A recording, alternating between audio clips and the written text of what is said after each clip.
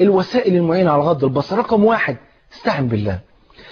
اوعى تفتكر إن أنت عندك قدرة شخصية وقوة من جواك إن أنت تقدر تغض بصرك عن أي واحدة ولو كانت أجمل امرأة. مش هتقدر إلا لو أعانك الله وإنه ليسير على من يسره الله عز وجل عليه.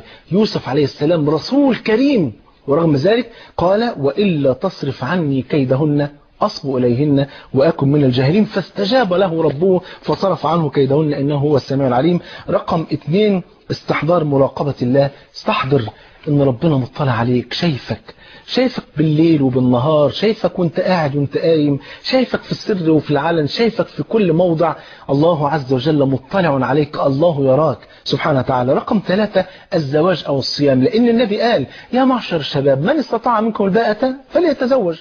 فإنه أغض للبصر وأحسن للفرج فمن لم يستطع فعليه بالصوم. فإنه له وجاء يا زواج يا صيام. عشان تغض بصرك ربنا يحفظك ويبارك فيك.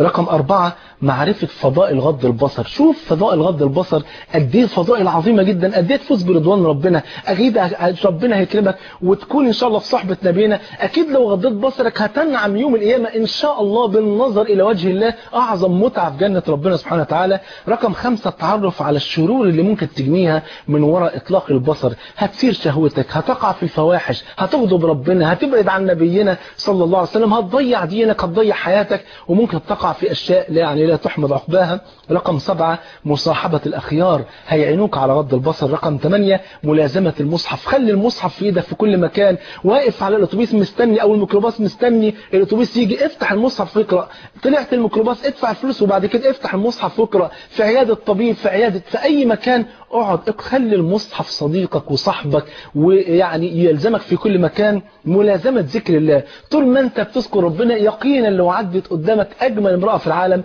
صدقني مش هتشوفها لأن أنت مشغول بالله حبيبك سبحانه وتعالى. رقم 10 عدم الوقوف في الأماكن اللي بيمر فيها نساء كتير. ما جيش عند مدرسة بنات واقف واقول هغض البصر. ما جيش عند باب جامعة بنات واقول هغض البصر. ابعد عن الفتن ديت. رقم 11 الانشغال بهم الدعوة. رقم 12 اربط عينيك بحتة قماشة لفترة طويلة. لحد ما تحس إن أنت ما بتشوفش. وبعدين افتح بقى القماشة ديت وشوف نعمة البصر قد إيه جميلة. قول نعمة كبيرة وعظيمة. مش هستخدمها إلا في طاعة ربنا. رقم 13 التوبة. توب وأحسن وأخلص النية لله. رقم 14 استحضار ما أعده الله لك في الجنة من النعيم والحور العين واللذة التي ما بعدها لذة وأعظم لذة. لذة النظر إلى وجه الله سبحانه وتعالى في غير ضراء مضرة ولا فتنة مضلة. أخوي وحبيبي إن شاء الله بكده نكون انتصرنا على الشيطان. هنتواعد هنوض بصرنا. رجالة شباب ونساء الكل هيوض بصره عشان بكده نكون جبنا لمس أكتاف وضربنا الشيطان الضربة القاضية وإن شاء الله ربنا يحفظنا ويحفظكم واللي يغض بصره أسأل الله أن يرزقه لذة النظر إلى وجه الله وأن يرزقه صحبة رسول الله. قولوا آمين. اللهم آمين يا رب العالمين. سبحانك اللهم وبحمدك.